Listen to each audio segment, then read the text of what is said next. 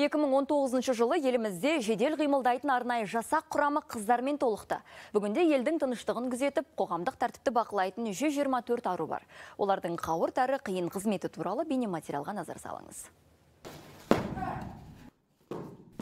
Қоғамда аруларға артылар жүк ауыр. Қазір түрлі салада қажырлы еңбек етіп жүр. Солардың бірі кейіпкеріміз қарулы күштер саласында 10 жылдан бері қызмет етеді. Ал нақты жедел қимылдайтын арнайы жасақ құрамына қосылғалы 3 жылға таяды. Олардың атын атап түсін түстеп жеке мәліметтерін таратуға болмайды. Соған қарамастан кейіпкерімізді аскем сұхбатқа тарттық. әкем полковник қазір зейнетте сол әкеме қарап өстім Ә, осы мамандығыма өкінбеймін біздің арамызда қайсар қыздар бар мен де елім қорғайтын сондай қыздар арасында бірі болғым келеді Қазақ қыздары қайратты. Мұндайда қар жастанып, мұз төсеніп, елін қорғаған әлия мен мәншіктер ойға келеді. Жасақтағы қыздардың еңбегінде майдандағы қайсарлықпен теңестіруге болады. Олар күшейтілген режимде жұмыс істеп, талай күн үй бетін көрмейді. Біздің қызметімізді қаталдықпен емес, жанашырлықпен байланыстырса дейді арулар.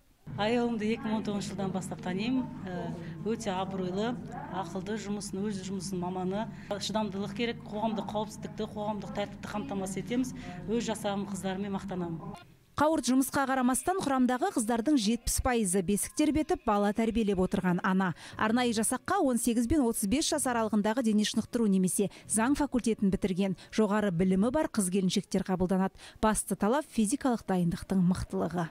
бізде қазіргі таңда 25 қыз біздің құрамда жұмыс істеп жатыр. 25 қыздың ішіндегі ә, бізде 20-сы спорт шеберіне үміткер бір қыз ә, халықаралық дәрежедегі спорт шебері бокстан ә, қалған қыздарымыз спорт шебері. Қызметтің қауіптілігіне қарамастан қыздарды біріктіретін бір ғана мақсат отанға деген адалдық елдің тыныштығын күзету сондықтан антына адал арулардың азаматтық қоғамда алатын орны қашанда биік Ақниет Балтанова, Бақтияр Умаров, Қазақстан ұлттық арнасы.